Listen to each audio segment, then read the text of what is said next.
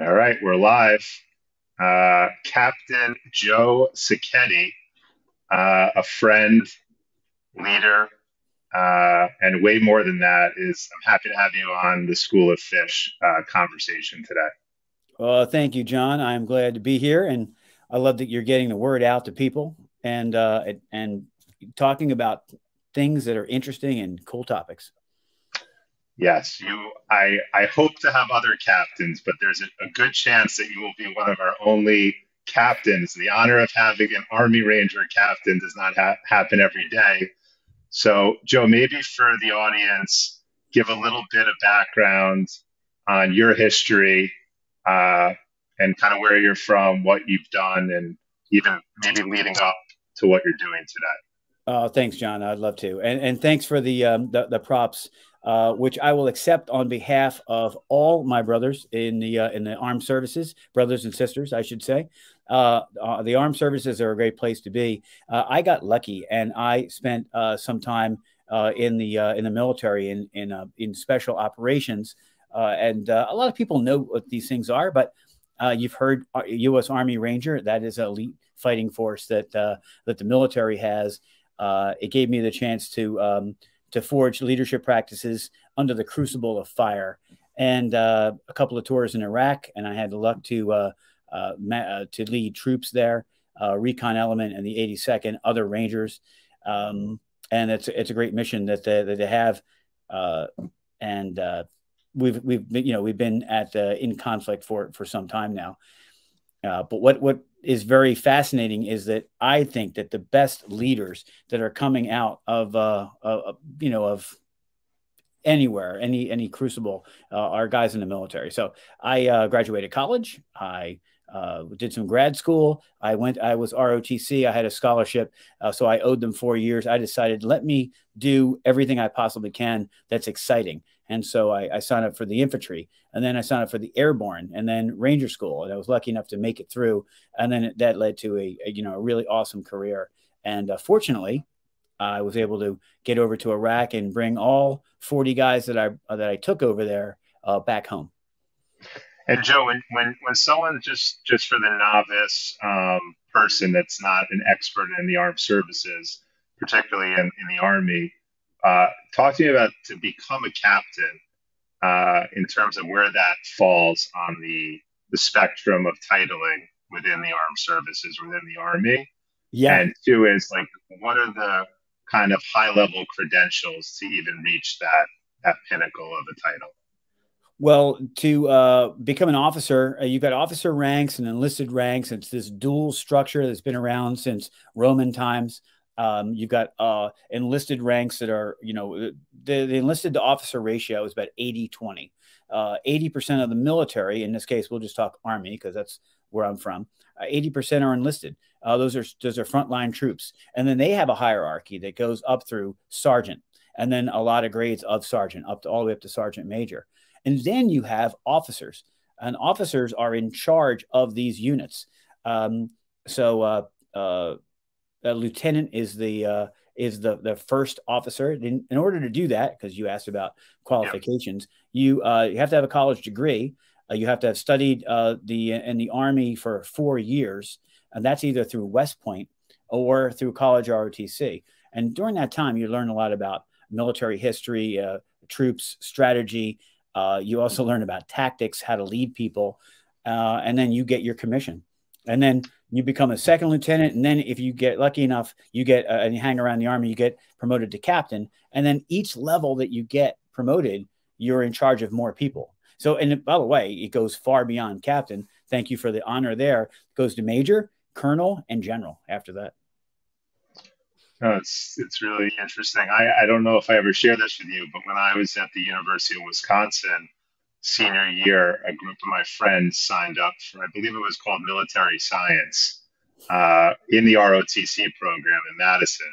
So I, I spent one one semester studying military science. I was an international relations major, um, so I've I've been you know curious about world order and foreign policy dating back almost 25 years. Um, give give a sense on when the, the period of time in, in which you served, just as a reference. Yeah, I was in in the uh, late '80s and '90s, right around uh, the the Gulf War, uh, Iraq first time around. So Operation Desert Shield and Desert Storm happened in 1990 and 91, and my years of service were 85, which when I graduated college, to 94 after I got out of active duty, and even did some reserve time after that and you know obviously there's there's many i'm sure life lessons and and things that you could draw from. I heard you say before you know it, it prepares you to enter the business world. But uh, talk to me about some of the life skills that really stand out in some of the day to day that that you're in today in the technology industry or in just you know the co- company corporate world that's a great question because I think the one thing that really, uh, really shines with folks that are, have spent time in the military, and then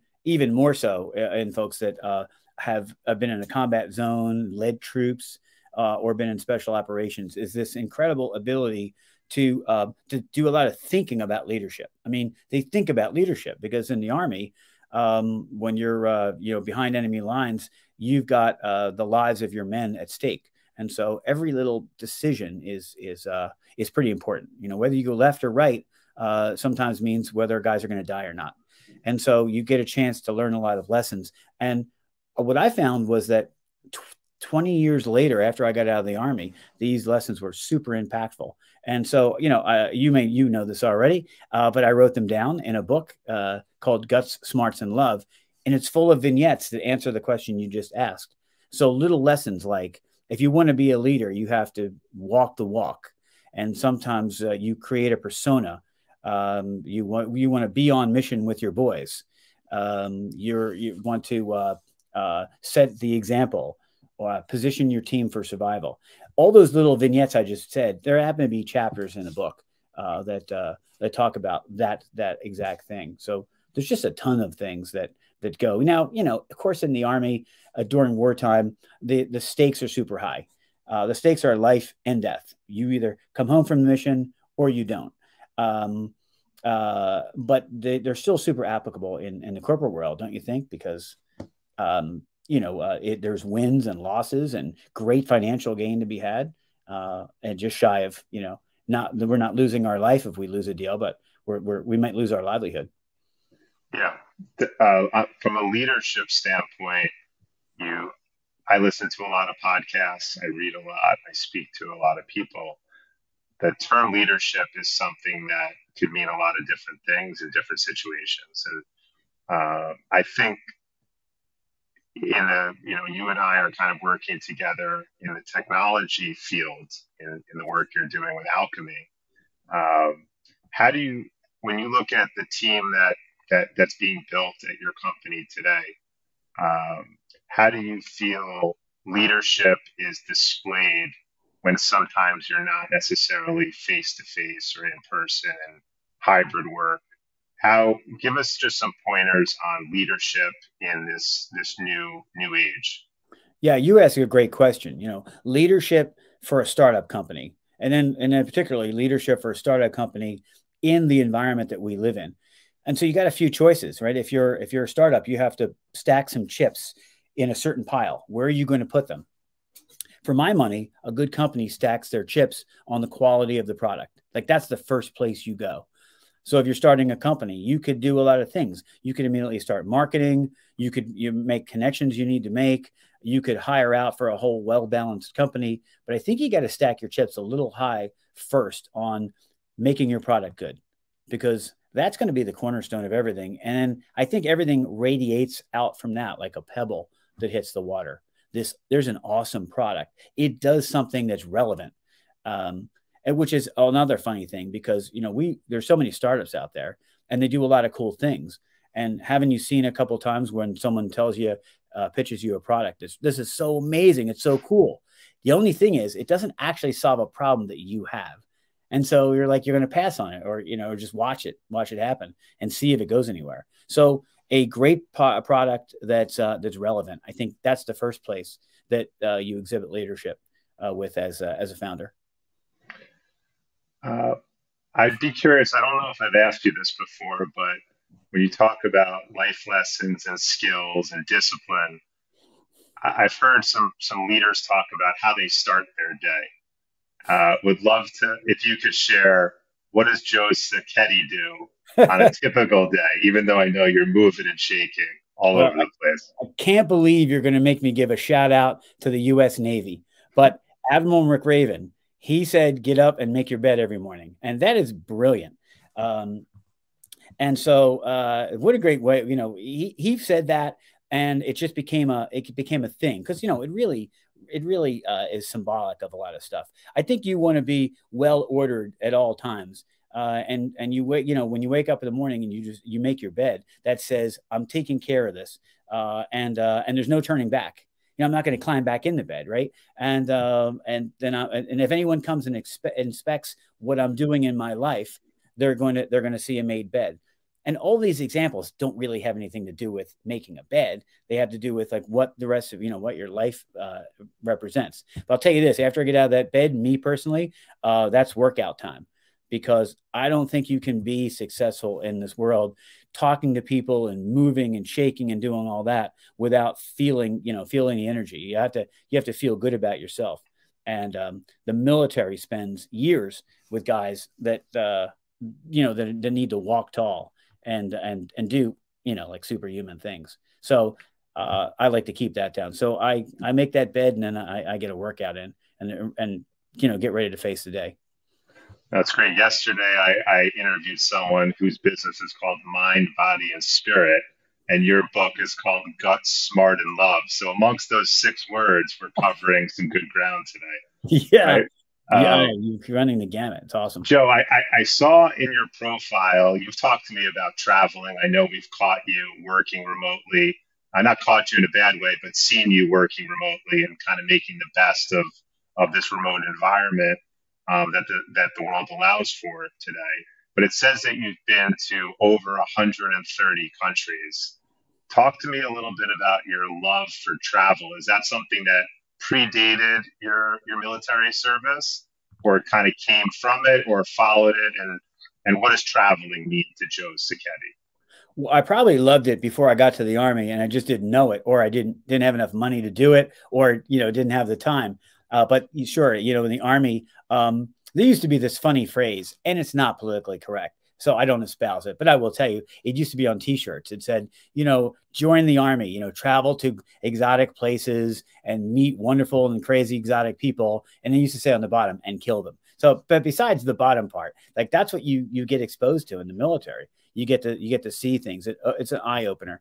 I think the first couple times that I stepped foot outside the U.S., I realized that the, the world is this amazing place um, of uh, of dancing and music and food and culture and and all kinds of great stuff. So I uh, I, I, got this love to to be able to see it, and uh, it's nice that the army got me started, and then uh, the blessings of a good uh, career. I've I've used usually looked for jobs that involve some type of travel, you know, covering Latin America or or or working in in Europe as well. Um, and then what you said in this environment now, you can work remotely from home.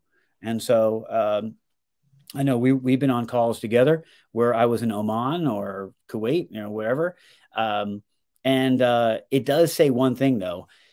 You you know, and everyone may not want to do this, but I do. I blur the personal life and the work together. They they you know they they sort of blend together. Uh, for me, this is a cell phone. I only have one. A lot of guys have two or three on the hip, whatever, that would never work for me. I gotta, my life has to be ordered. Also, I'm talking to you on my my laptop. I have one laptop, um, and so I've got you know keep everything together. Uh, and you find a way to blend the work and the life together. Hopefully, you enjoy both, and and it's a good blend. The work you're doing today at Alkymi uh, I, I describe you as head of partnerships, channel partnerships. But if I if your LinkedIn profile has it correctly, it describes you as a channel chief.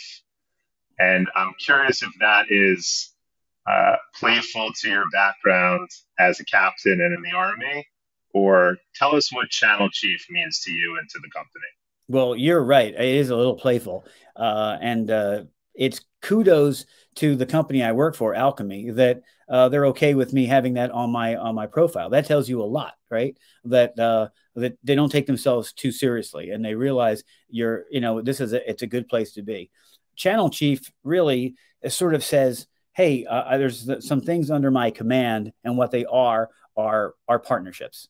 Uh, it's you know, channel for our listeners that may not know uh, is really synonymous with uh, in the selling environment having partners. Some partners sell your product, some collaborate with you, some are alliances that sell what they sell and you sell what you sell, but you're you're swimming, you know, in the same direction. And so uh, uh, all of those things uh, come from from that word channel that just mean you know a way to a way to get to your stuff.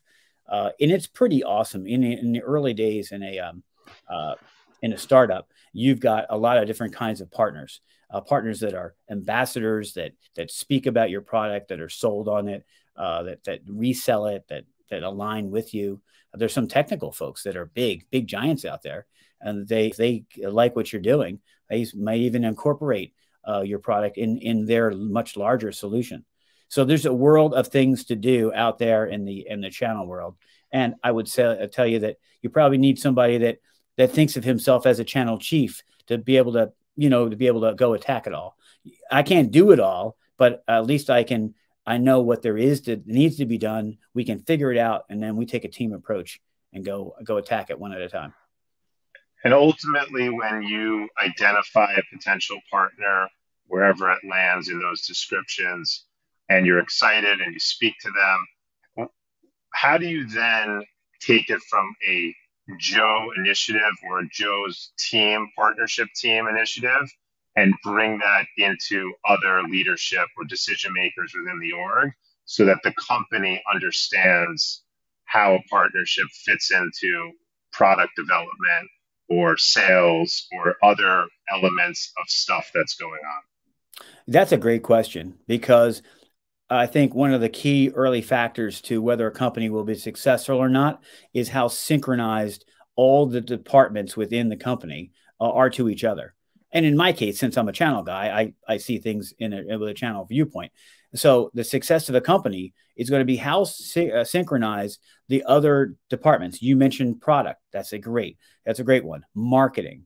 Um, the the data science or the back end engineers how synchronized are they to accept that a new partner that they never heard of last month is now on board? Well the, the good company will say all right this is great. I now realize that this partner who's interested in working with us is good with a b and c and i'll and i'll accept them in and, and start to work with, uh, work together. And i'm you know you know that already there's a, just a ton of different kind of partners. They sort of equally distribute and sprinkle out through the company and the smart company will will take all those partners and uh, and make their product better. And then ultimately, when you have that partner, you get the internal support from product, from sales, from leadership. What ultimately have you seen as good elements of what on the other side, both internal and external, what makes a good partnership?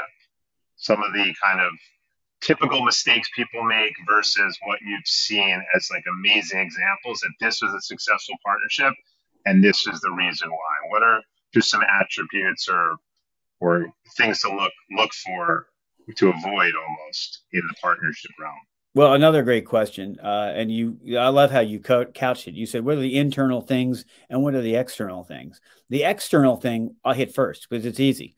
For another for a partner to be successful with you they have there has to be something really palpably in it for them. It, it has there has to be mutual success, um, and uh, they, they've got to have something to be able to contribute and something to be able to gain from it. And so, uh, having a partnership that that doesn't really offer that much to your partner is never going to last. It's got to be you know really juicy and really exciting. Uh, in fact, something that their own company can grow. They could they could theoretically hire five or ten more people just because of your partnership. And it doesn't matter what you sell. If you have that going for you, that partner is going to be wildly successful and wildly uh, amenable to, to working with you. Now, on the internal side, it's incumbent upon a company to make uh, to, to, cover their bases. They have to make partners want to work with them. Uh, and I've devoted a little time when I was at uh, uh, business school. Uh, lucky enough to to go to MIT Business School because they were they were taking Rangers or they took a couple of military guys. They let me in, uh, but it, it, it, took some time to put together what I think is important uh, to answer your question directly. And I call them the six pillars. You have to have pillars of success. You have to have a product that's bulletproof and easy to package. Some companies don't. If you don't, what's a partner going to do? It's going to be tricky. You have to uh, offer great margins because no partner gets out of bed for single digit margins. It's not going to work. We've seen it in history where big giant companies slowly whittled their margin down. So you only made 6% if you sold them. Guess what?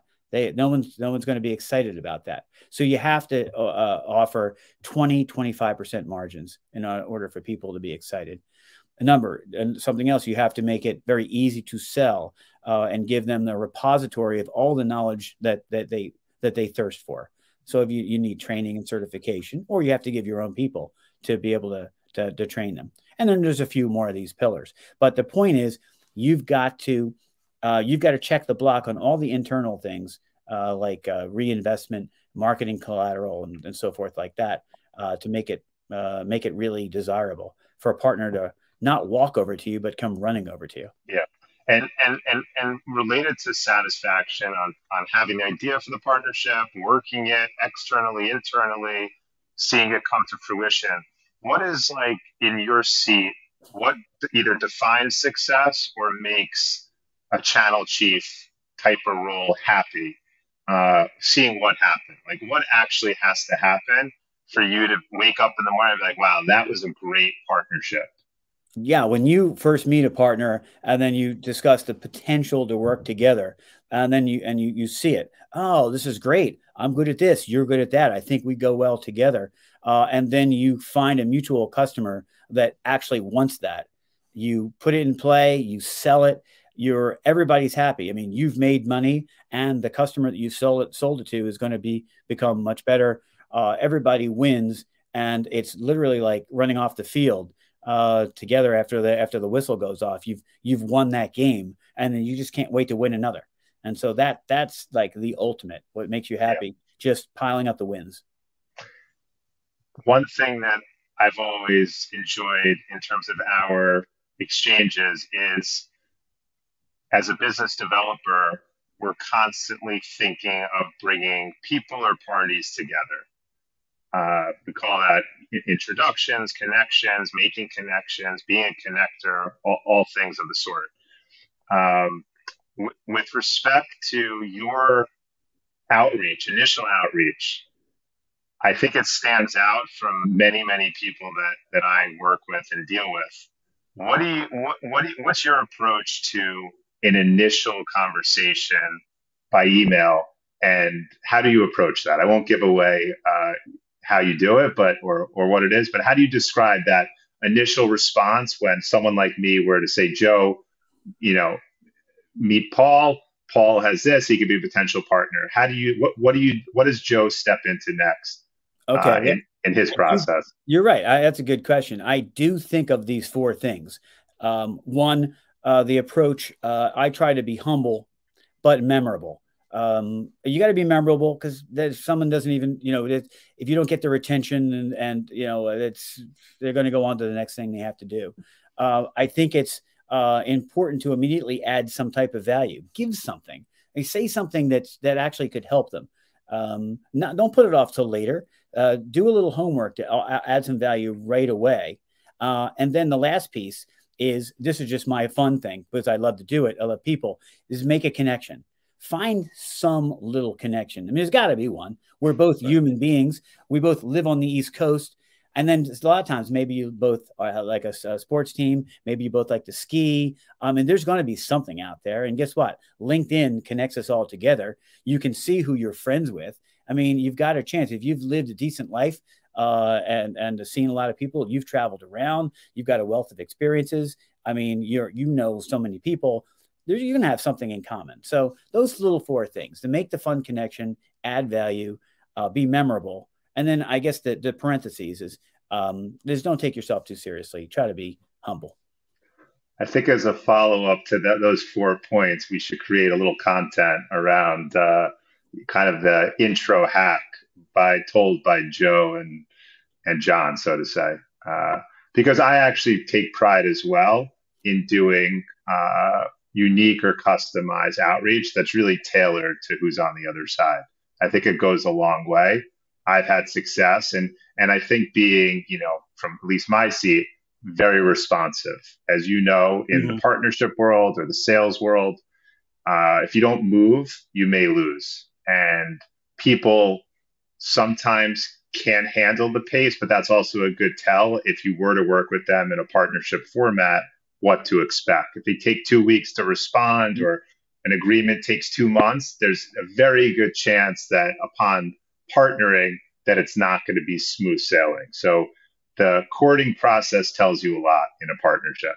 Yeah. From my seat, I, I don't know how you feel about it. I totally do. In fact, uh, I guess if you would add a fifth one, uh, and you know this because we we literally make a game out of it. It's that immediate response. You don't let anything sit for a day. It's cold, like food sitting out on the counter. And so uh, we I, I, see a lot of you know your communications, and two things always stand out when I see a note or an email come from John Fishman. One that it's authentic.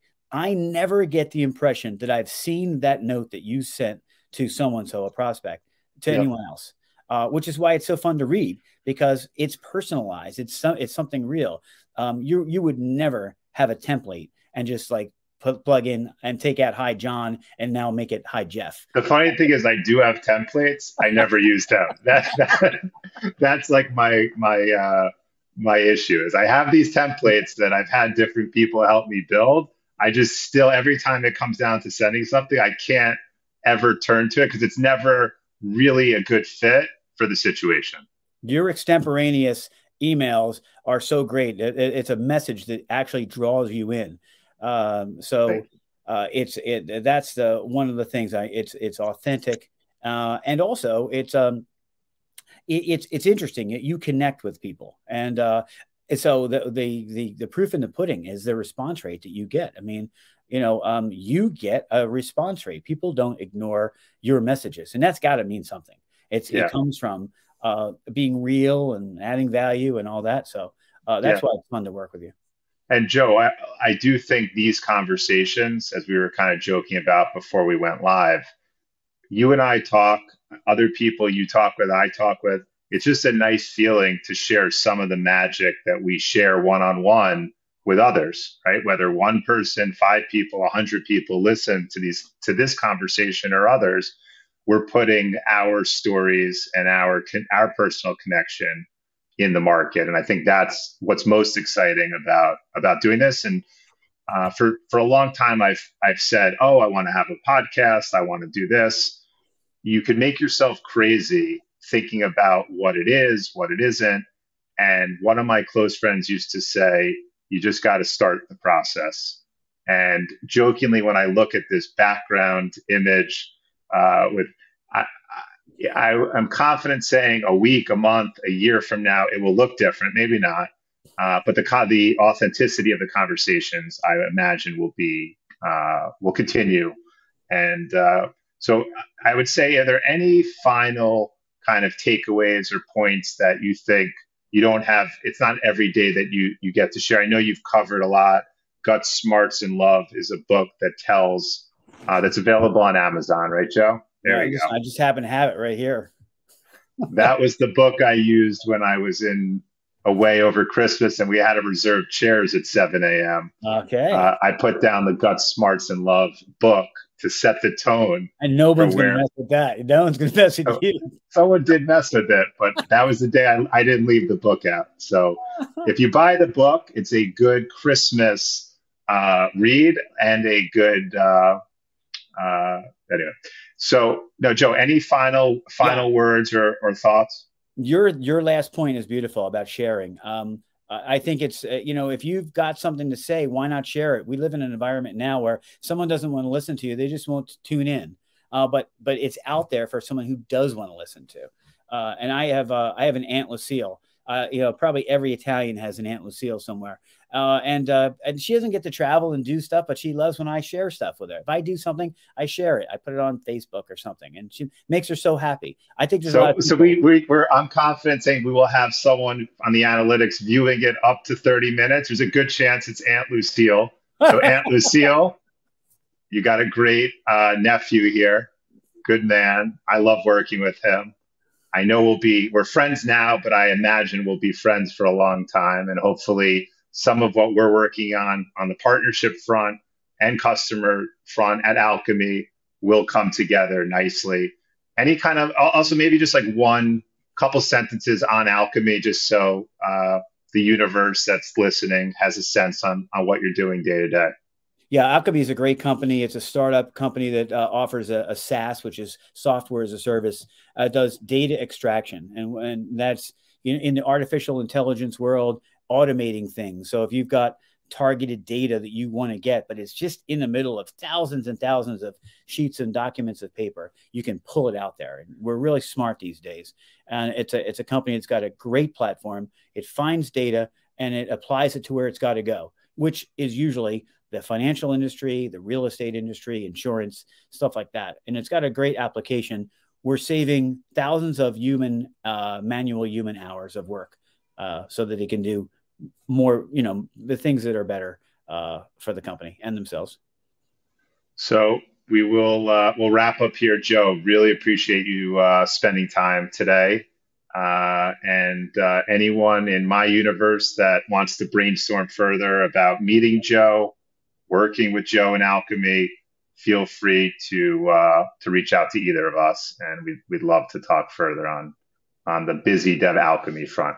All right, Joe, have a good one. Thanks so much. Thank you, John.